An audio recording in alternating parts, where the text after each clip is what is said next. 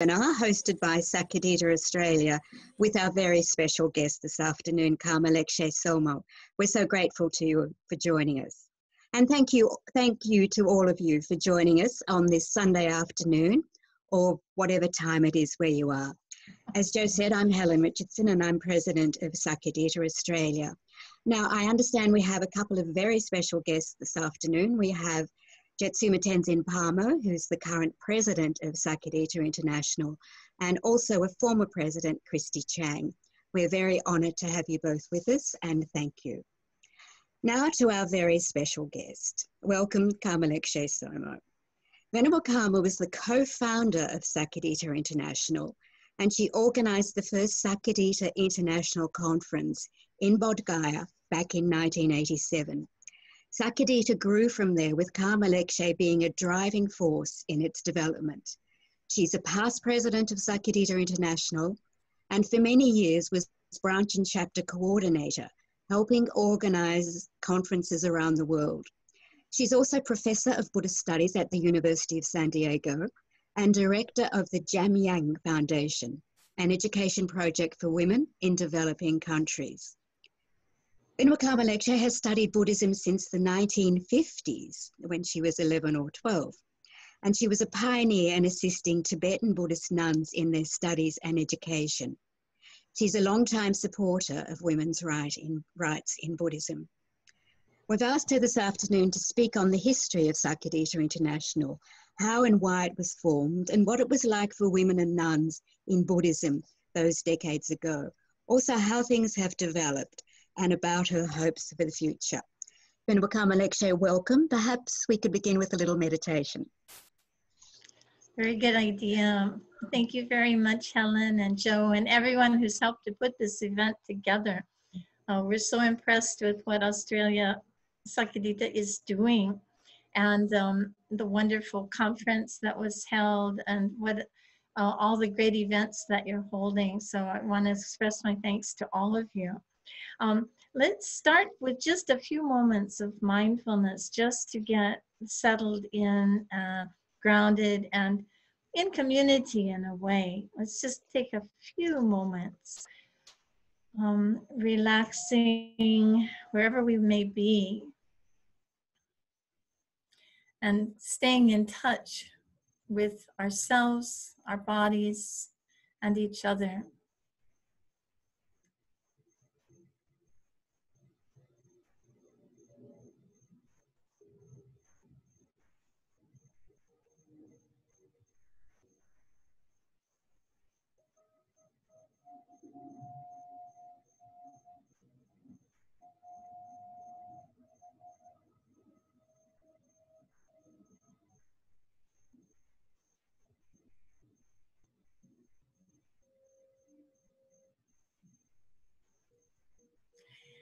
Thank you.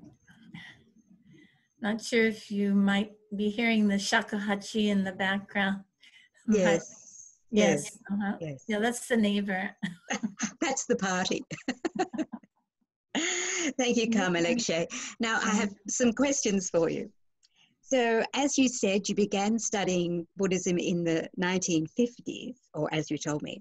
And Buddhism wasn't well known in the West then, like it is now. So, how did you become interested in Buddhism? Well, my family name was Zen.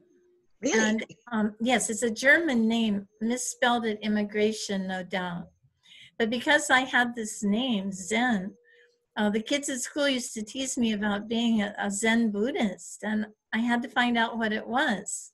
So when I went to the public library, and look for books on Buddhism, I found only two books uh, The Way of Zen by Alan Watts and Zen Buddhism by D.T. Suzuki.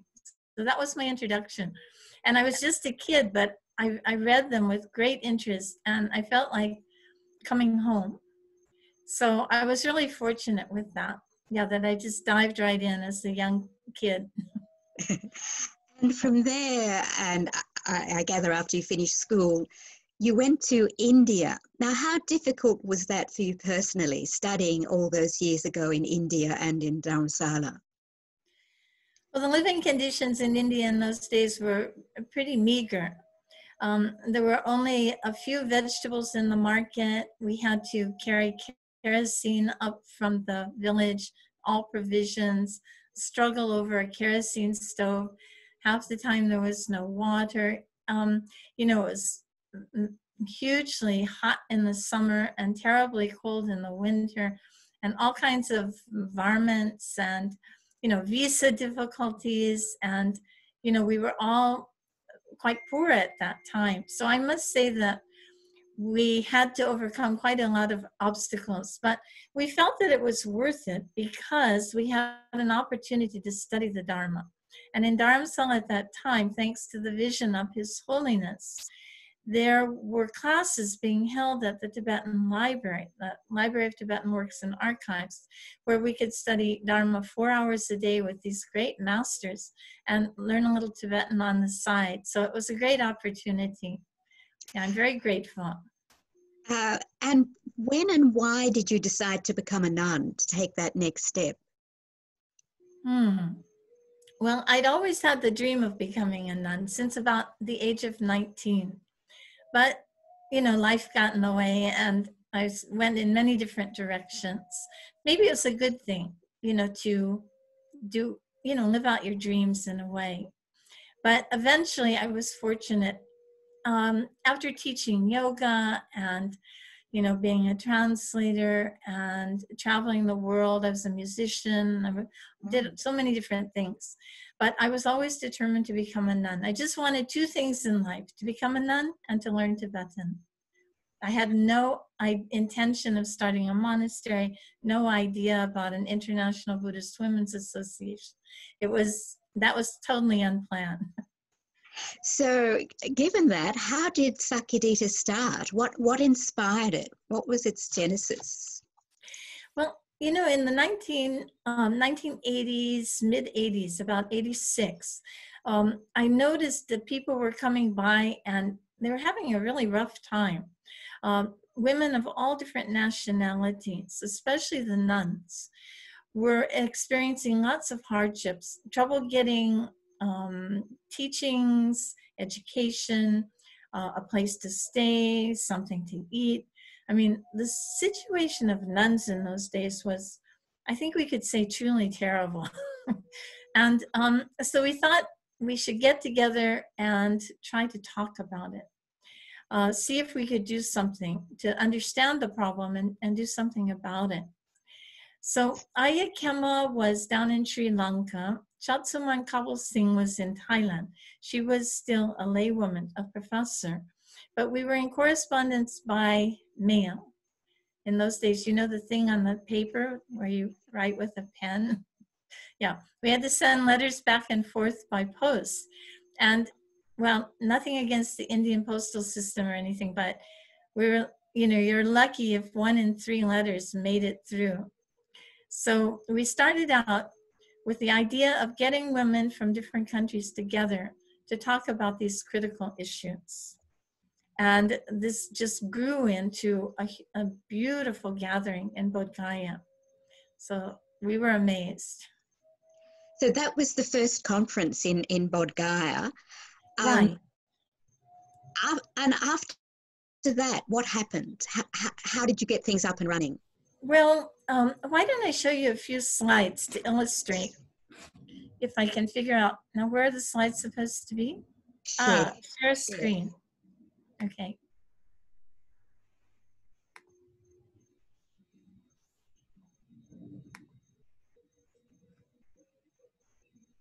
Okay, can you see? see? Yes, we can see those. Can you see all of them or just the main one? the main one, Sakyadhita, and the others on the side.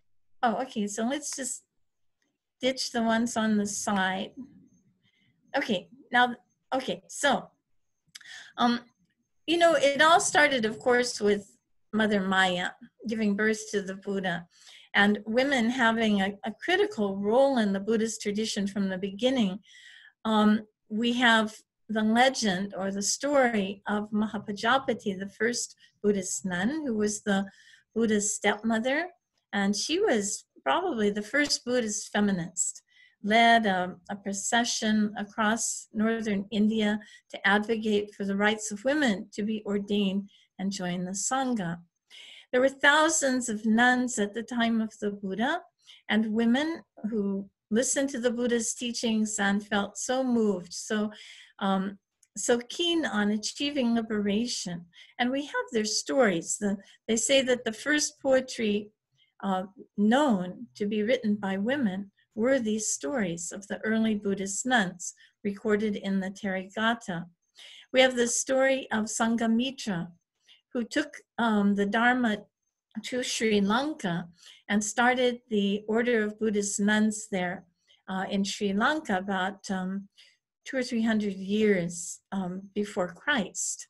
We have the story of Hema, who hid the tooth relic of the Buddha in her hair. I think she pinched it actually and took it down to Sri Lanka. So she's very famous there too. Um, we know that the Buddhist teachings originally were supposed to be for everyone uh, laymen, laywomen, ordained men, ordained women. But somehow women have not played a central role in most Buddhist traditions.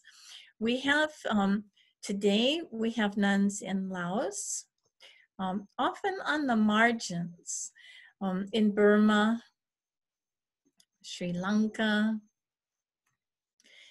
Vietnam, um, the lay women and nuns are, are very strong. They have one of the largest Bhikkhuni Sanghas in the world. In Korea, the position of nuns is quite good, and women do get education. Um, in the Himalayas, there's been something of a lag in education, but we're catching up now. Um, so here we start with the first Sakyadhita conference in Bodh Gaya in 1987, where we actually focused on the situation of the nuns because that is what needed attention. Um, definitely needed attention. uh, then we moved to Sri Lanka in 1993. And, oh, I'm missing a few there, but Cambodia in 1997. Nepal in 2000, to Taiwan in 2002, Korea 2004, Malaysia in 2006, Mongolia 2008, Vietnam the beginning of 2010, Thailand 2011, Vaishali, um, the village where the Buddha's stepmother became the first Buddhist nun. We thought we should honor her, so we held the conference there in 2013. Then Hong Kong in, oh, we're missing Indonesia in 2015 and now Hong Kong in 2017. Then Australia, 2019, just last year. So these conferences have led to a lot of changes. Our big focus at the first one, uh, everyone agreed, was education. It just did not seem proper that so many of the nuns were lacking the opportunity to study the Buddha's teachings. In some traditions, women were illiterate. And so there was this huge gap between education for monks in the monasteries and the situation of women who were not allowed to join those monasteries. So now um, we see that the women are having the opportunity to participate in all the rituals, almost all. Uh, they're getting meditation instruction. They're even achieving the highest degree in philosophy, the Geshe degree. And the remaining um, sort of challenge, I guess we can say, is full ordination for women in all the different Buddhist traditions. There's still a number of traditions where women don't have that opportunity. So um, the, this generation, the younger women today have many opportunities, both in the secular sphere and in Buddhism. Many of them don't realize how difficult it was for earlier generations. Um, but we've come a long way. so, and a lot of this, I must say, is due to the hard work and good communications, networking among Buddhist women of the world. So, so that's the story that's how it all began, and that's how it's progressed over the last 30 years. And um, I think we can all be quite proud of the achievements of Buddhist women in that period of time uh, in many different fields research and translation and publications. I mean, when we started, there were there was just one book from 1930 a wonderful book called Women Under Primitive Buddhism. Um, but that was about all we had to go on. And now we, we can hardly count the number of books and articles that have been written about Buddhist women in all the different Buddhist traditions. Mm. So quite remarkable. Um, seeing that slide of the conference in 1987, I've been remiss, I've been reminded that there's another of uh, Sakyadhita's past presidents with us who is Ranjani De Silva, who's with us with the nuns from Newbury. So we'd like to welcome you. It's, it's lovely to have some of the past presidents with us. And she's told us a bit about that, uh, those, those, early conferences in, um, in Bodh Gaya in Sri Lanka but it, it seems to me it was it's been an enormous amount of work to to do all you've done with those conferences and really to get things up and mm-hmm. running well there are challenges involved in doing something international with almost no budget um, we've we started every conference with about zero the, at least the first um, 14 conferences we really had no resources. And yet people would come on their own, um, you know, on their own, paying their own expenses. And this is how Sakyadhita has managed as a purely volunteer organization. So we've never had any paid staff. Everyone has worked as a volunteer, which has made things much more difficult in certain ways. But in other ways, it means that everyone who is involved is working from their heart not in hopes of, you know, getting a job.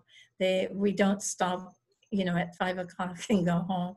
We just uh, continue until the job is done. So that's been wonderful, really. Um, another challenge, of course, is language. Um, we were working with uh, over 40 different languages, and we've been trying to get as many publications in different languages as possible. I think the Indonesians and the Vietnamese are, are leading the pack on this one. They've all published at least five of the Sakyadhita volumes in their own languages, which is amazing.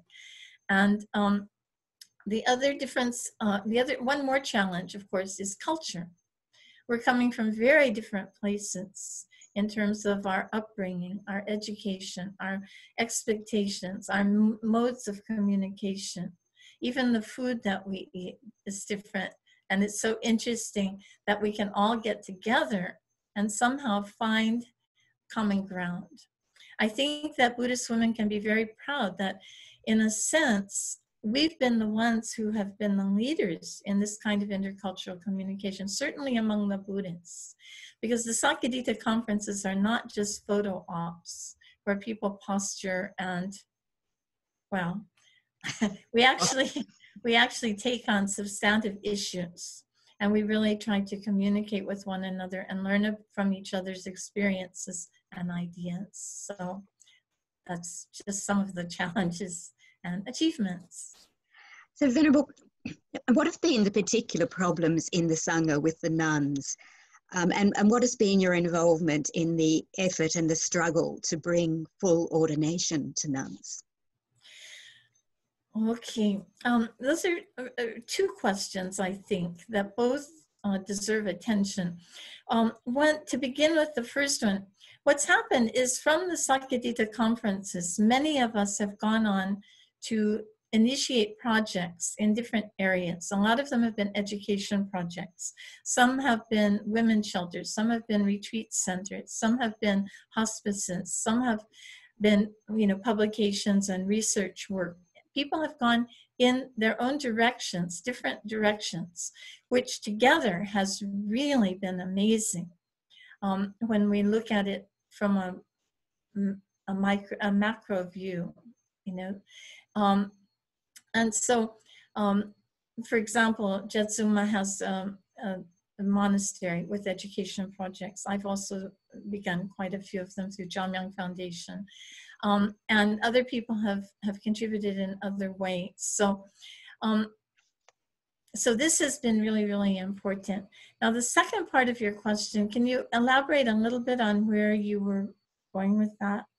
Um, well, I, I, believe it was quite a struggle some decades back for nuns to get full ordination, and I ah. wondered what was your involvement in that.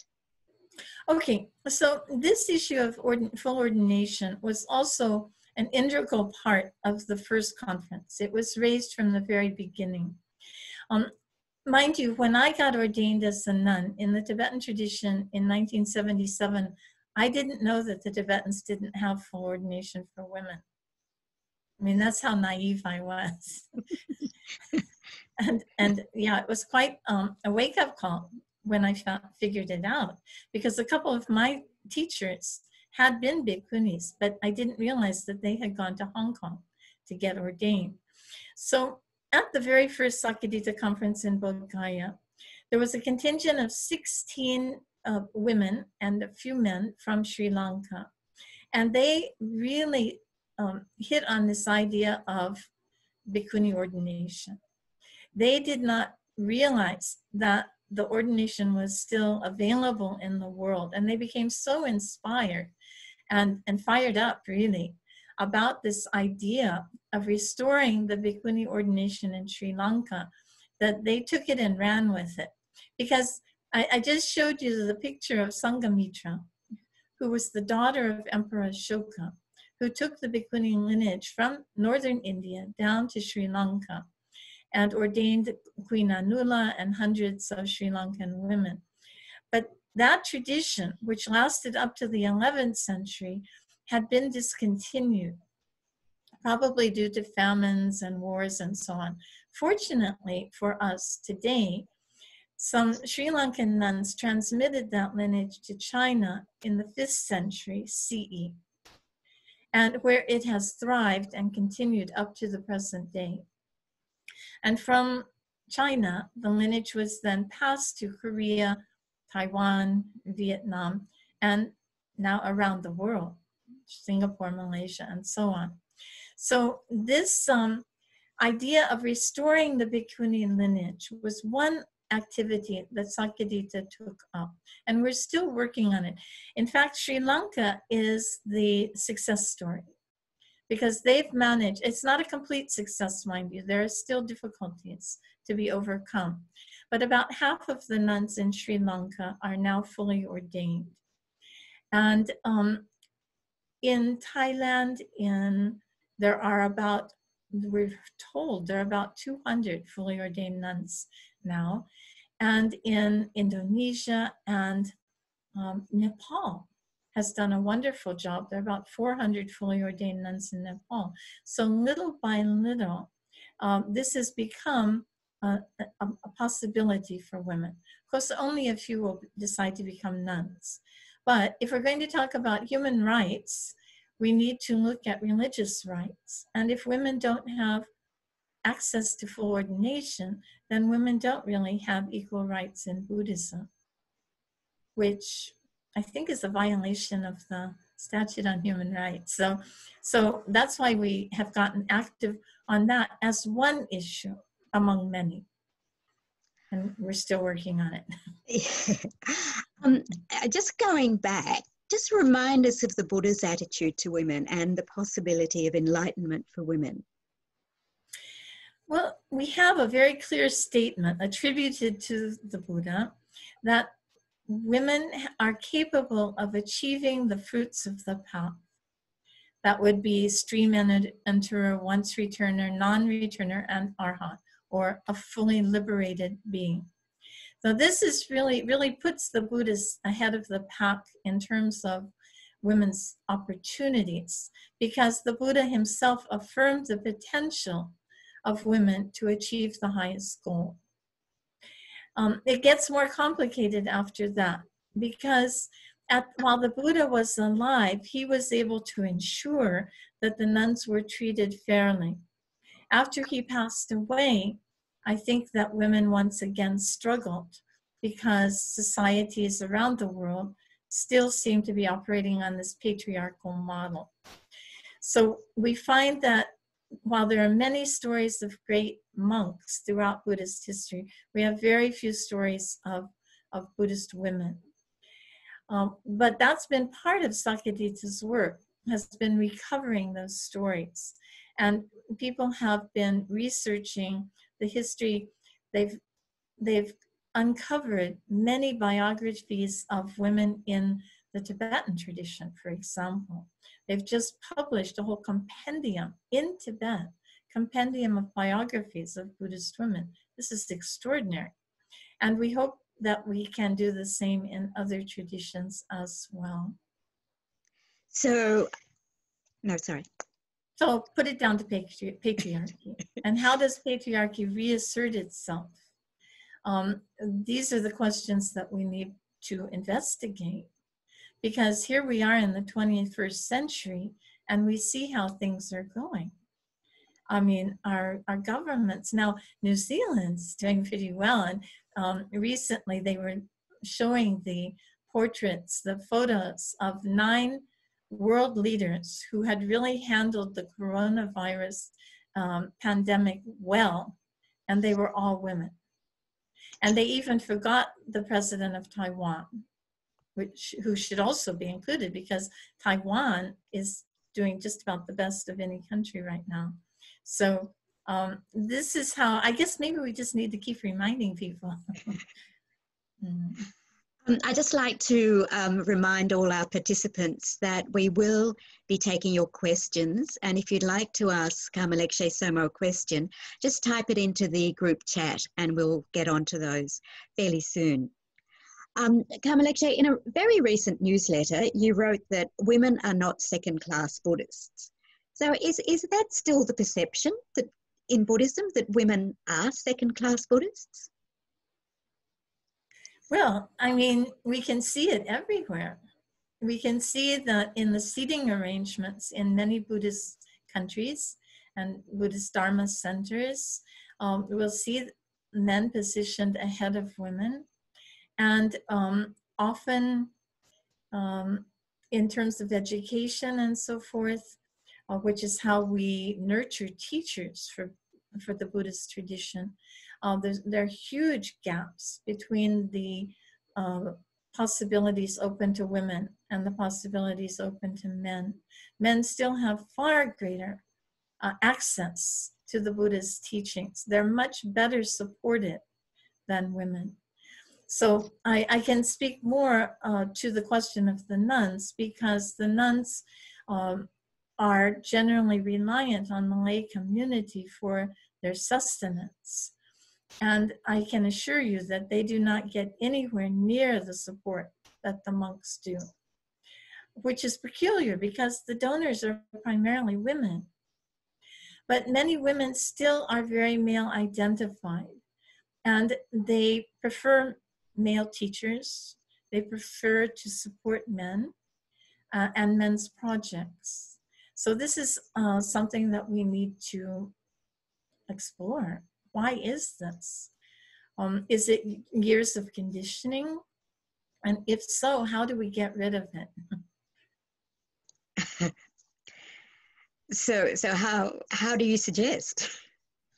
Well, I think that's why Sakyadhita was uh, initiated, was to try to acknowledge that women have a tremendous potential uh, for helping uh, correct the injustices in our troubled world. Mind you, gender injustice is just one of many problems that we're facing.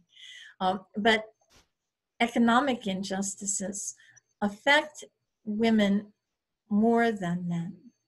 Um, that's even in the United States, 40% of the homeless population is women and children. You see, just in small indicators like this, we can see that um, in the job market, uh, economically, women are often at a disadvantage. And in promotion and, and I, even at the university, you know, being heard. Women's voices need to be heard. So Sakyadhita has become a forum where Buddhist women's voices could be heard. And I'm, I must remind people that before 1987, Buddhist conferences were almost entirely male. Uh, in fact, most even until today, mostly they're male. Male dominated. The speakers are mostly men. The organizers are mostly men. The decisions are mostly made by men. So women have had difficulty being heard. Sometimes we've tried to infiltrate these organizations, but it doesn't work out very well because they'll have us doing all of the work. But this, the idea of us actually having something worthwhile to share in terms of ideas um, is not well received in, in many cases. So we become tokens. And that's not what we had in mind. So Sakyadhita is a forum that's open to everyone men, women, lay ordained, neither lay nor ordained, um, of all backgrounds, of all nationalities, and all Buddhist traditions. So I think that we can credit Sakyadhita also as being a forum where people of all different tra- Buddhist traditions can come together, and also all different religious traditions. We've had a lot of interreligious dialogue over the years, very productive dialogue, I must say, on a very deep level, because in many respects, the issues, the, the challenges facing Buddhist women are also shared by women in other religious traditions. And we can learn from each other. Uh, the Catholic uh, Catholic women are, are far ahead of the Buddhists in many regards in terms of hermeneutics, you know, going back to the texts and explaining them from a woman's a woman's perspective. Um, wow, the Catholics have been doing this for 50 years now, and we've barely begun. You see, so in these ways we can learn from each other. Uh, that's quite remarkable. And also, you know, this idea of getting the different traditions together to chant in their different languages.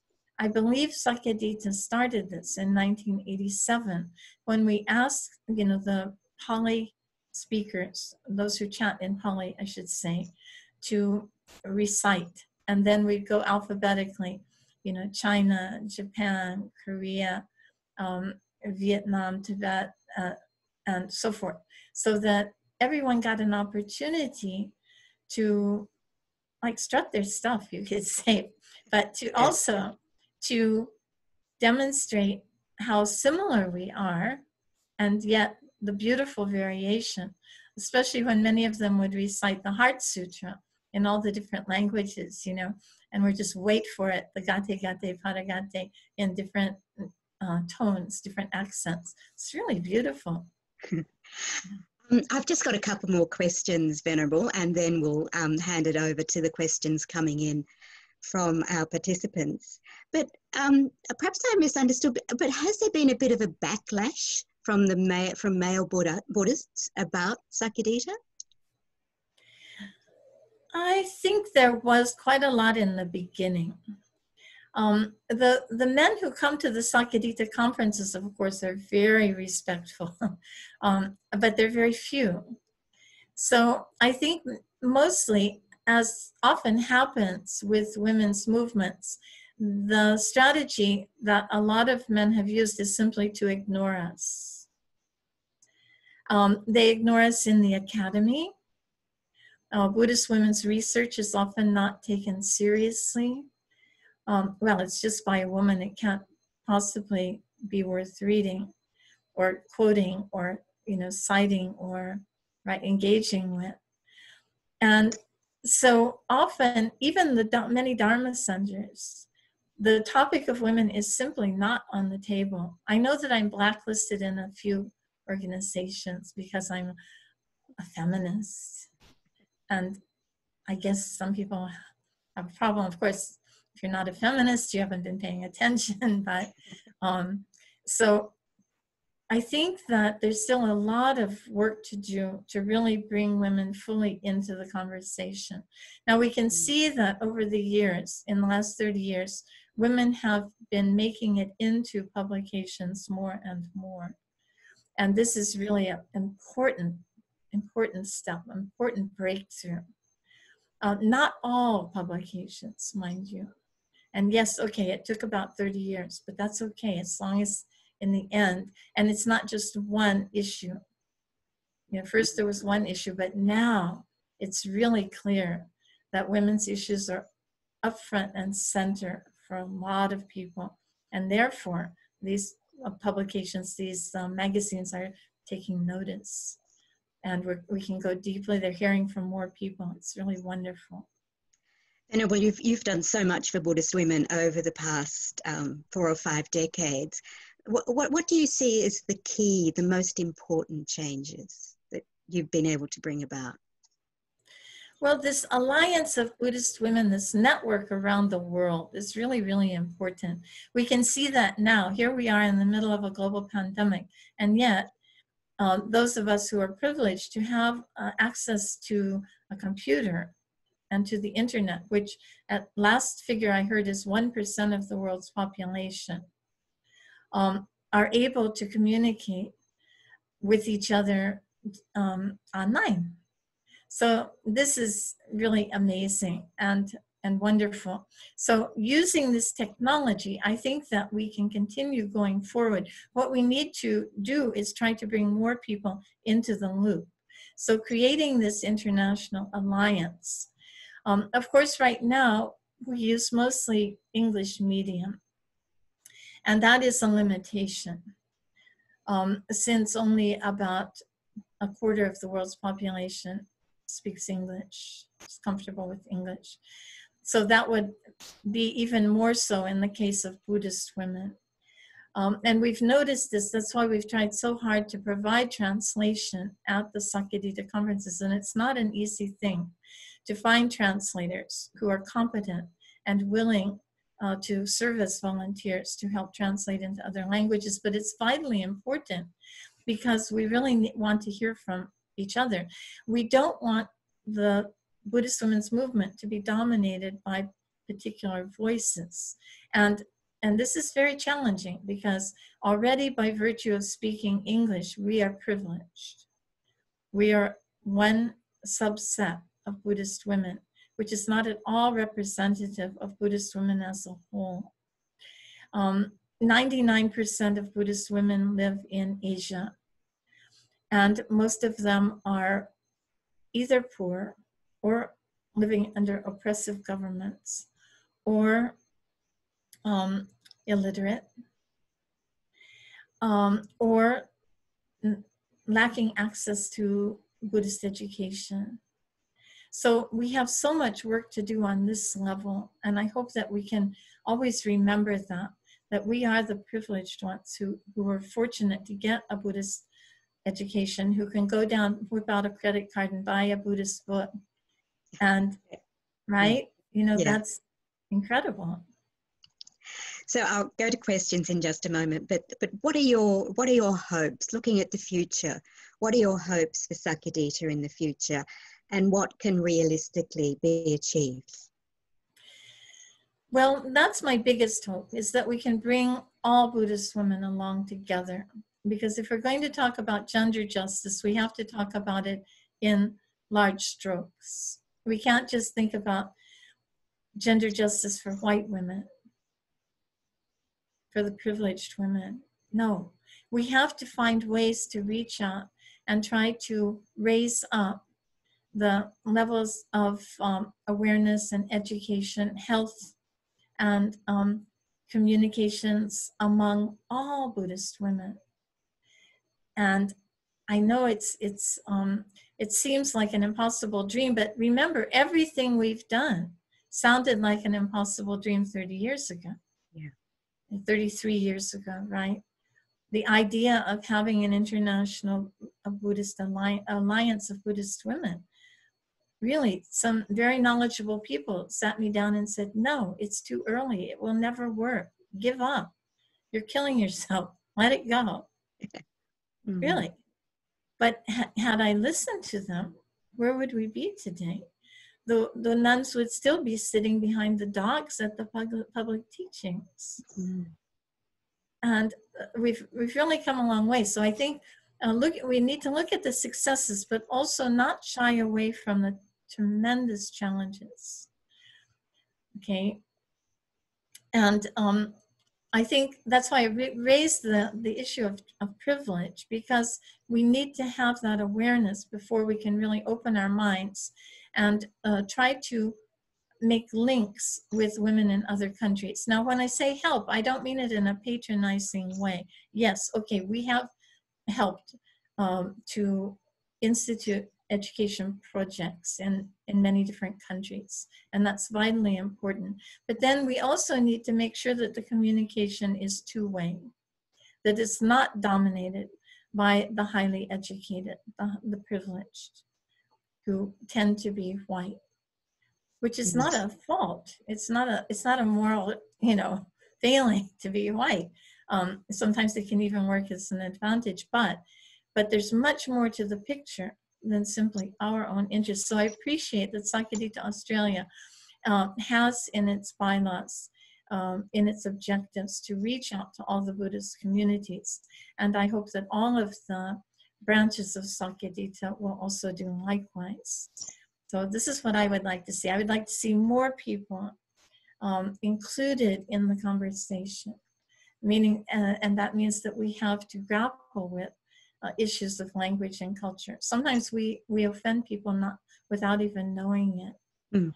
There are different ways of being in the world that are especially valued in women in Asia and Buddhist cultures. To be humble and so forth is the main one. So sometimes the way we behave is really offensive but mm. we don't realize it, right? Mm. So I think maybe learning more about these modes of communication. Um, yes, and also learning to see both sides so that we can broker some of the misunderstandings that arise around that kind of miscommunication. Now, I don't just mean here to make a divide between uh, Asian and Western. That's something of an artificial divide because you know, many of us have lived in Asia for extensive periods of time, and many Asian women have also studied and lived in Western countries for uh, extensive periods of time. But we also need to bridge all the different gaps that could potentially cause misunderstandings and see if we can learn communication skills that can help to resolve some of these differences and, and, and make it a richness a diverse make uh, help us to discover the richness of diversity. Mm. It's a lot to work on. Thank you. Um, look, I'll I'll um, uh, come to questions now, but I've just been told by Newbury Monastery that they've set up the webcam for Ranjani, and I was wondering if um, Joe or Jack could um, give us that view. Is it possible to pinpoint Ranjani? But in the meantime, I'll read out um, a question that's come in from Judith McDonald. She's saying, It's lovely to see you, Karma Lekshe. Thank you. My question is What effect do you think the present pandemic will have on Buddhist nuns, and how can Sakyadhita work to relieve this? Oh, yeah, well, this pandemic is going to change everything. It's going to, it's, it's, it's changed the world. Um, there's no question about that. And we can see that in this forum, you know, instead of flying down to Australia, here we are meeting online, which is a wonderful thing. Yeah. Um, it also means that a lot of people are cut off. Those without telecommunications are are cut off, and I'm uh, personally responsible for these, you know, 400 nuns in India and 128 children in Bangladesh, and and as soon as this forum is finished, I have to try to see how we can get them some food. So, how do you get food in a country under lockdown? So you and I may be able to just ring the, the market and get it delivered or, you know, drive down to the local, you know, shop during the, the old folks hours or whatnot. But, but most people are not that fortunate. I mean, India is a tinderbox. So um, I think we, we need to set up some um, channels for providing uh, support for women in various countries as this pandemic. Let's hope that it comes under control. Uh, I mean, our prayers and our good thoughts and our um, sending loving kindness around the world is very powerful. Uh, and there's more that we can do also. So I think keep, keeping tabs, as depressing as it is, to keep tabs on how this thing is going, some of us have to because we're responsible for so many people. Mm-hmm. Thank you. Um, our next question is from Jack. What can Sakyadhita do to further highlight women Buddhist teachers and nuns to help improve the status of women in Buddhism and society at large? Maybe a plus side of sexism is that the great teachers of our time are more available, so there is a rich resource there for both male and female students to learn from. Mm-hmm. Yes, I think um, now, today there are more women teachers, and what you're doing here by inviting a woman teacher to address the, the gathering is an example of how we can simply make sure we bring women teachers in. Give women an opportunity to develop the skills of teaching. I lived in India for 15 years. I was never once asked to give a talk. Not once. It was not done. Only men could be teachers. And we still see that a lot in, in Buddhist societies and even in Western countries. If you, if you really want an authoritative answer, ring a male, right? But women have to see that this is limited thinking. We just have to break through that misconception that only men have the authority to teach Buddhism. So by inviting women teachers, by making sure that at Buddhist conferences, at least half the speakers, not simply the organizers, not, a, not one session at nine at night, no, that women are fully integrated into in the conference, that they have a voice in the planning, what topics are raised. I remember a Buddhist conference in Berkeley where there was only one panel on women and someone challenged Ayya Khema. So why do we have a, a whole panel on Buddhist women? She said, because there's no other panel that has women on it that's talking about women's issues. Now that's 30 years ago. Now we see women more and more invited to speak, but I remember not long ago that someone organized a conference about the Bhikkhuni issue, and they had nine speakers, all male. Um, and when that happens, we have to gently, politely call them out on it because it's no longer acceptable. So we have responsibility to make sure that women's voices are included in all levels from start to finish, not just in the kitchen. And then we have to if we see that it's all men on the mic, all women in the kitchen, quietly work for change. Mm. Okay, um, here's another question. I'm not quite sure who it's from. How do you keep compassion when witnessing gender inequality and disre disrespect towards women, especially in Buddhism? It confuses and saddens me. Yeah, um, it's uh, it's pretty infuriating, actually. Um, and the fact that it's happening even now, even today, even in you know circles where people should know better, among educated people, it's still happening. So I think that it's most important under the circumstances to practice loving kindness, both for people on both sides, the ones who are perpetrating this a kind of gender violence, yeah, and the ones who suffer from it.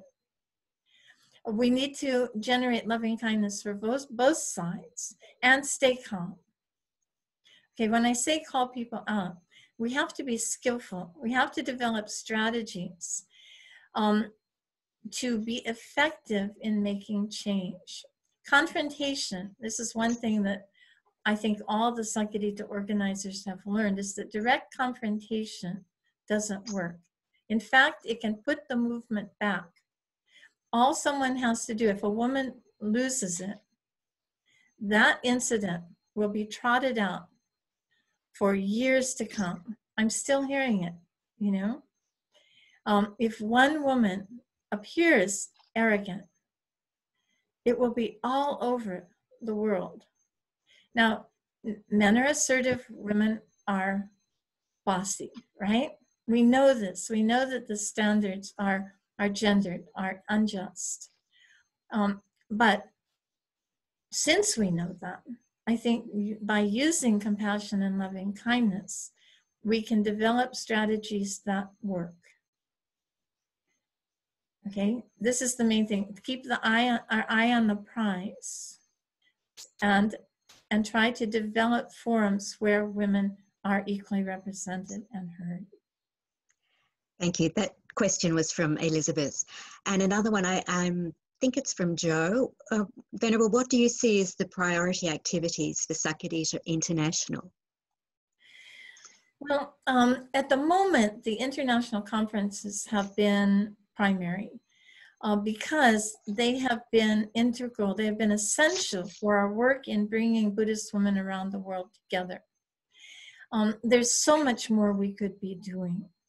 Uh, what we've also been focusing on is strengthening the national branches and nurturing the national branches. Um, in sometimes it takes years to get a national branch started for various reasons. Sometimes there are government interference um, and uh, obstacles, right? In some cases, the people in that country just are too far flung geographically. In some cases, the people in that country don't get along. And that has really undone some of our national branches. So that's something we have to look at carefully too. Um, effective organization. None of us are trained, I'm not trained in organizational management. Um, I'm learning communication skills on the fly. Many of us are, mm. right? Um, but we need to do that, and more of us need to do it. We need to somehow bring in women who have skill, um, all different kinds of skills, that we can learn from. And more and more, it's going to be technological skills because I think that everything is going to change. You know, the idea of getting on a plane and going to a foreign country is it's not going to be attractive for a lot of people from here on. And therefore, we've got to be prepared. Uh, well, we need to be prepared ourselves psychologically that we're not going to probably be running around the world like we have been and also be prepared to present our ideas and our our platform for changing the world in more and more attractive ways. Um, beyond as you know some of the you know lecture format workshop format artistic formats we need to get more and more creative uh, and appeal to people of all different sort of interest groups and starting young too we need a whole new generation. There are lots of young Buddhist women out there. I was just at a Goenka retreat with a hundred young people. Uh, Two thirds were women. Amazing, so beautiful. And so they're out there. We just need to figure out ways to link up with them. Um, Karma Lekshe, the next question is related to technology. It comes in from Liv. Um, I've just participated in a virtual retreat. Is it possible for one of the nuns to conduct a similar event?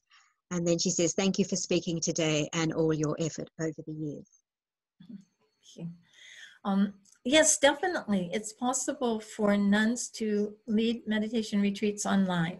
In fact, there's one this weekend with Sangye Khadro on death and dying out of Seattle. It's actually being done from Washington State from Shravasti Abbey.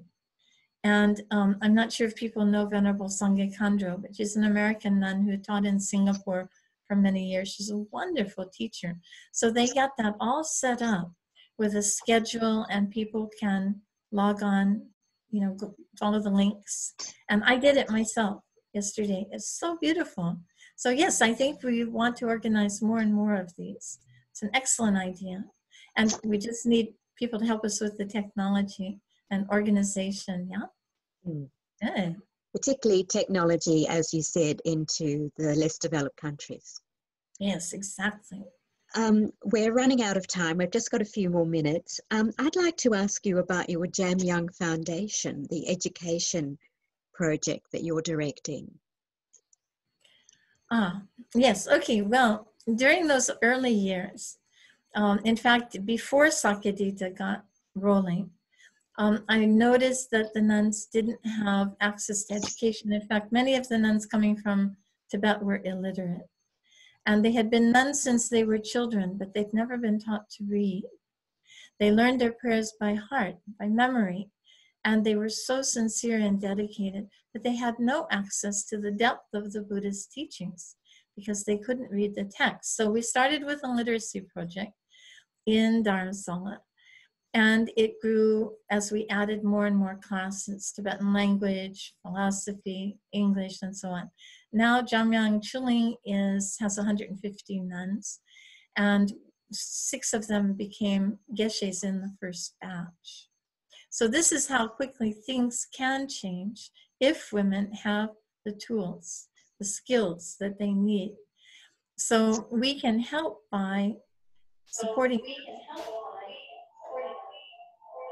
Oh. to gain those skills, right? Uh-huh. So um, this includes um, food. It's not very sexy, but they need to eat. They need a place to stay. They need education. They need health care. It's pretty basic. And so we've continued, um, and now there are 12 projects in India, 12 monasteries where the nuns have education programs.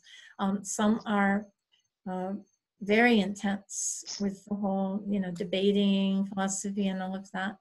And some are simpler, lamrim instruction and so forth. But this is this is how it got started, and it continues to this day. So, and there are many other projects um, that others have started as well. These projects are going; they're moving ahead despite all the obstacles. Yeah, that especially things like women are stupid uh, women aren't interested in studying.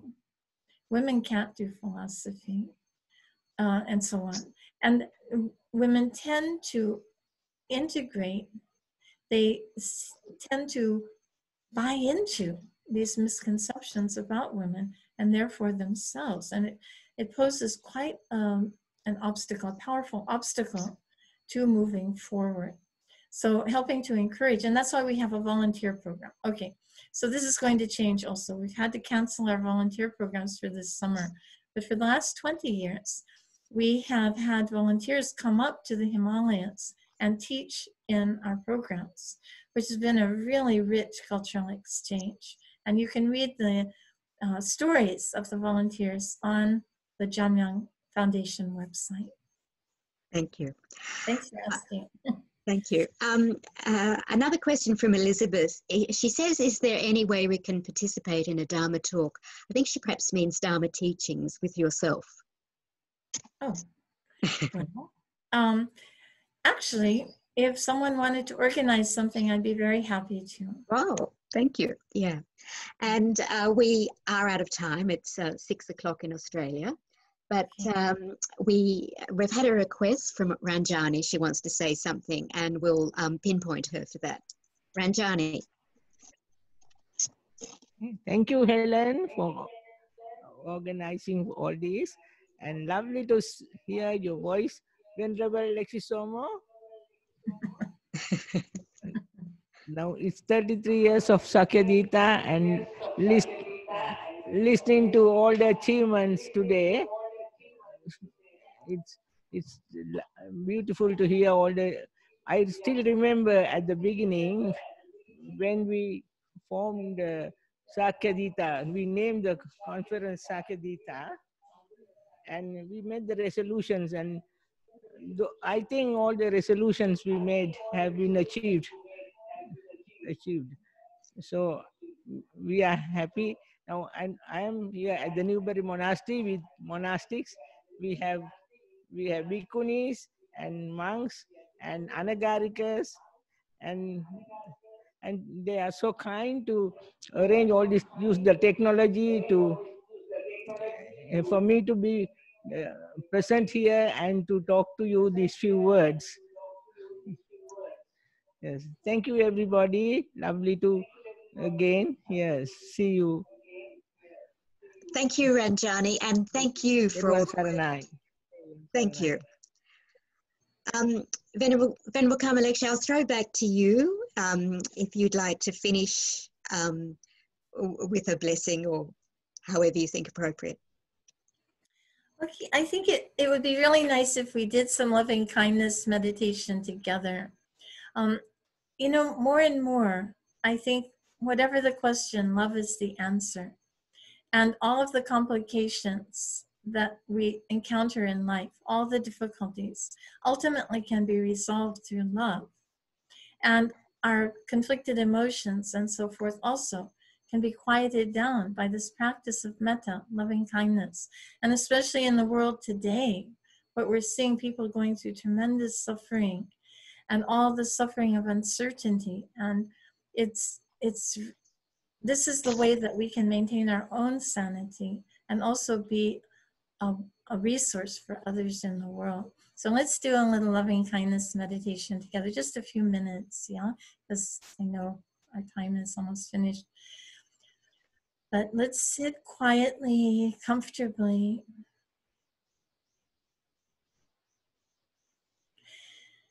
Relaxed comfortable in the present moment.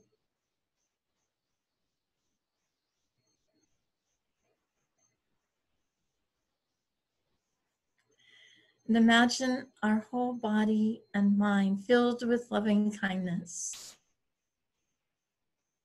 If we like, we can visualize it in the form of a gentle golden light that permeates every cell of our body every moment of our thoughts.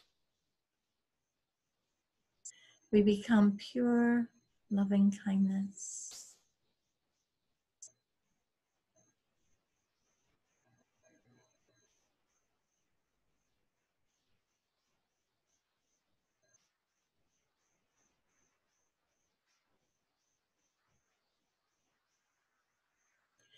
Then we expand that loving kindness out to everyone on the chat,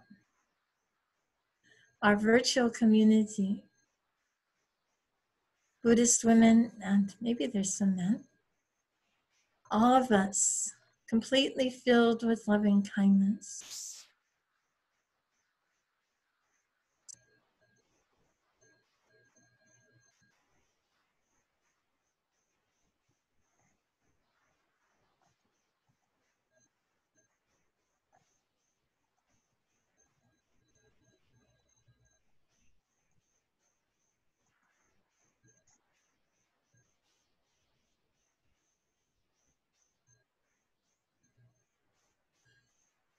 Now we share that strong, pure, loving kindness with everyone in our area. Our home, our neighborhood, our town, our state or province.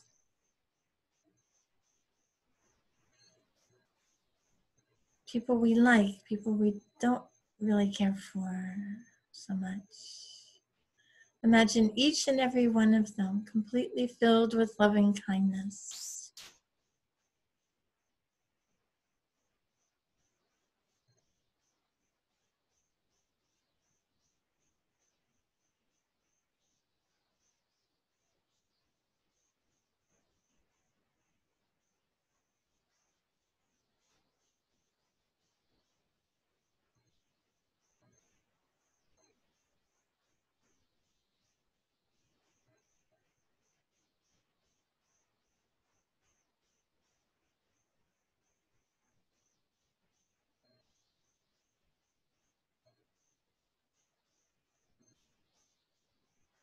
And then expand it out even further to reach even the farthest ends of the earth, and all the living beings on this beautiful planet.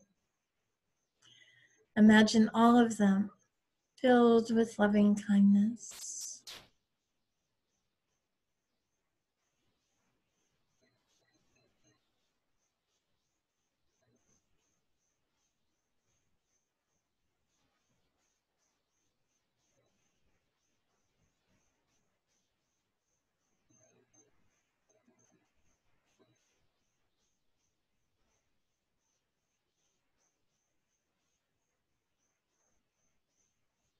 Remember especially those who are suffering from this and other physical ailments.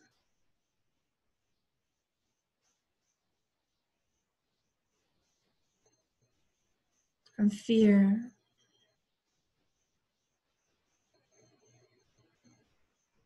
anxiety,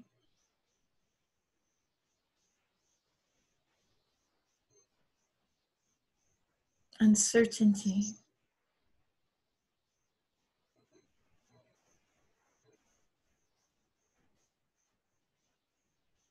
Poverty.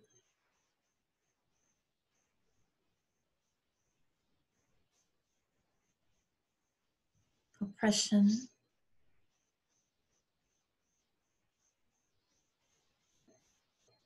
Conflict.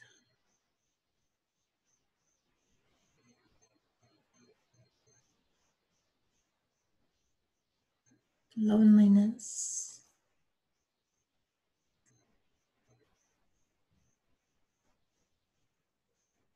frustration.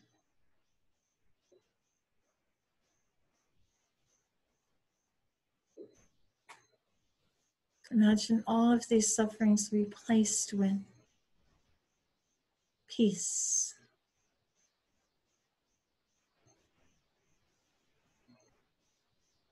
Ease.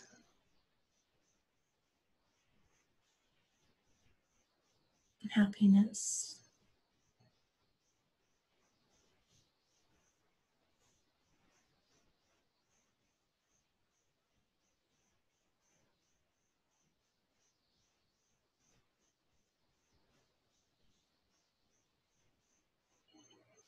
May all living beings on earth be well and happy.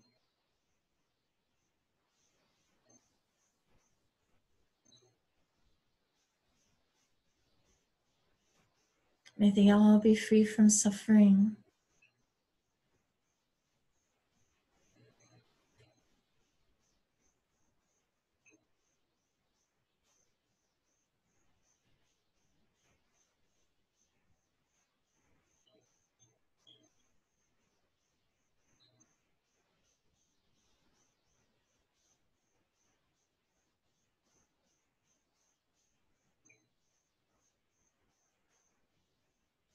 And we rejoice in all the good deeds we have done. Even during this teleconference, all our good thoughts, good motivation, our meditation.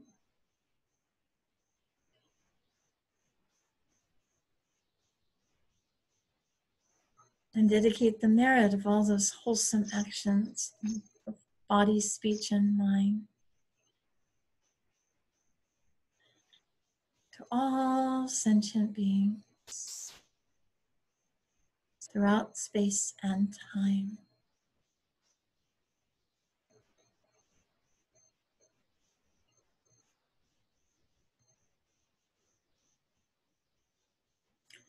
Mm-hmm.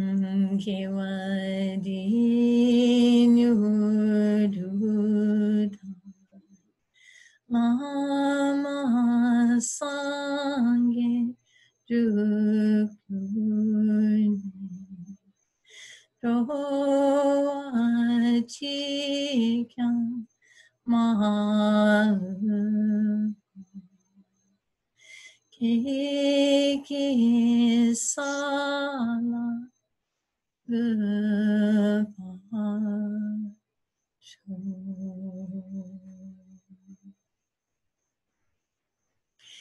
by virtue of the merit that we have accumulated.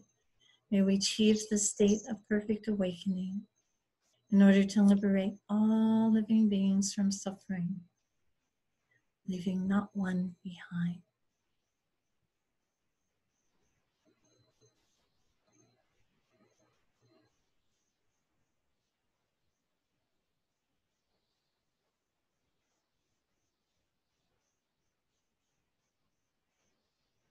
Thank you. Venerable Karma Lekshe, thank you. And on behalf of Sakyadhita Australia and on behalf of all our virtual participants today, we've got people from Spain and Singapore and all around the world. Thank you so much for your time. We really appreciate it. Thank you. And Thank goodbye, you. everyone.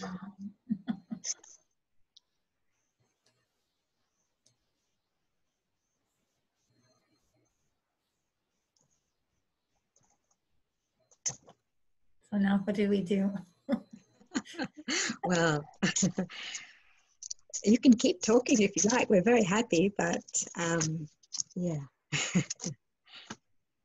and Ranjani, it's it's so interesting. Ranjani's sitting there in front of her fire, you know, because it's very cold in Newbury, and then we have people from Singapore um, in the tropics, and I guess in Honolulu it's quite warm. So quite a, a diverse yeah, just within Australia, but internationally, such a diverse group of people.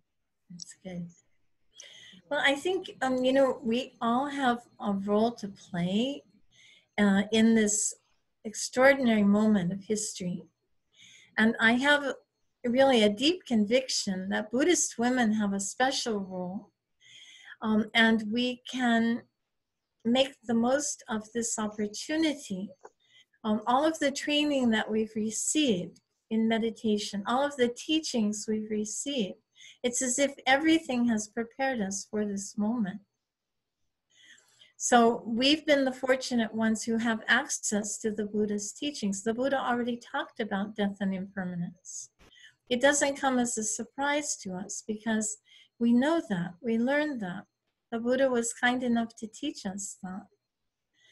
Um, we know how that things are uncertain, um, that the future is uncertain, that things are changing moment to moment. We've learned how to calm our mind, to learn to be quiet, to sit still at least, right? We've got the method, we've got the, the Buddhist teachings on how to understand the mind, how to calm the mind and that will prepare us to not only to face the situation um, and we don't know how it's going to go but also to be a resource in helping others to learn how to calm their mind and to accept their circumstances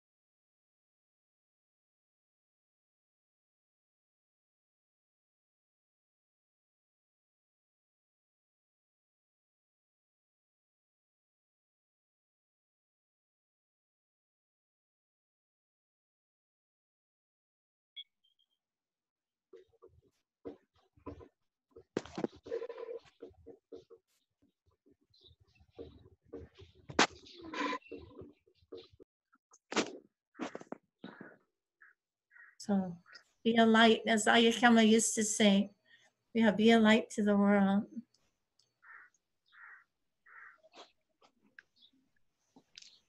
Okay.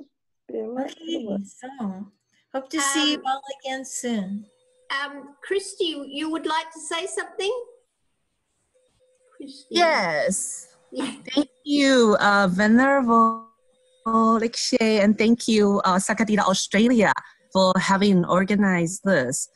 Uh, just a very quick update about our upcoming, uh, our next Sakyadhita conference. Um, we have rescheduled it, uh, you know, due to the current conditions with all the you know the, the, the challenges we are facing so so instead of june uh, 2021 we are now postponing it to december 2021 so i will send you the exact dates uh, very soon so and also we'll be announcing those dates on the uh, second website and uh, facebook page okay Thank you. Hope to see you all there.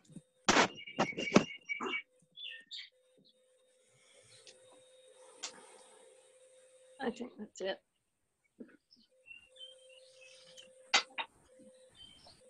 That it? Yeah. Thanks, everyone. Bye-bye. Stay well. Stay safe. Bye. Bye. Bye. Bye. Bye.